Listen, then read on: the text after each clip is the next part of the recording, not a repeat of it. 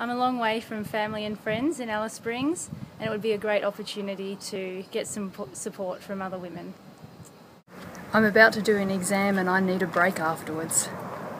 I need to get away from whatever I'm going through at the moment, which is a massive transformation. I feel I'm going through a crossroads, and going through a retreat will give me some time to think about things and clear my head.